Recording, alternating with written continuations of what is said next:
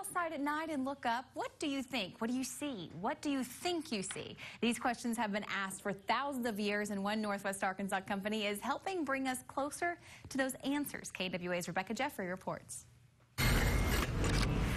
Let's see what we got up here. I find that almost everybody, when they see a telescope, some, something triggers that they just go, wow, you know, I, I wonder what I could see with that. And look how bright Saturn looks. After 30 years of selling and making telescopes, Scott Roberts decided to take his future into his own hands. I started this in my garage in Laguna Hills, California, in Orange County. And when I told my friends that I was relocating the business to Arkansas, many people are just like, you know, Californians go, uh, uh, are you crazy? Fast forward five years, Roberts is counting his lucky stars. Explore Scientific brought in $35,000 its first year and is now a multi-million dollar company based in Springdale. I would say that if I did not move to someplace like Northwest Arkansas, that we would not have the success that we're having today.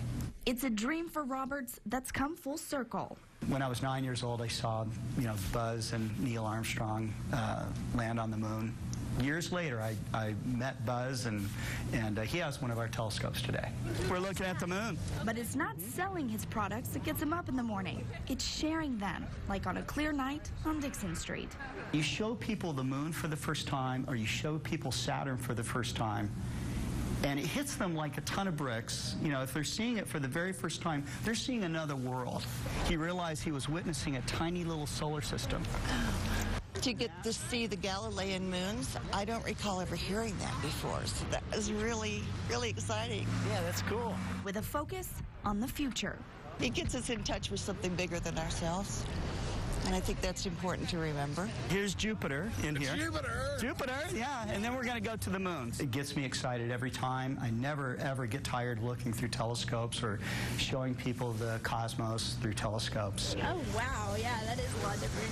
A feeling Roberts is passing down to the next generation. I couldn't believe I could see that far. Just being like being able to see Jupiter from here, it's incredible. It was really big and it was it felt like I was in space kind of. I could see the craters and the moons and stuff, which I thought was really cool. Using these tools to make science come alive, whether for students or just lifelong learners. It really lets me just see what is really happening, understand it a lot more. When I look through a telescope and I see a, a, spiral galaxy, you know, that's 35 million light years away, that energy, the original photon, is hurling through space at the speed of light for 35 million years, and it's finally hitting your eye, okay? It's a real connection a passion increasing both sales and curiosity around the world. Thank you so much. You're welcome. We've got a lot more coming. Uh, we will continue to expand. You can expect a lot from us in the next year or two. I'm Rebecca Jeffrey for KNWA Northwest Arkansas News.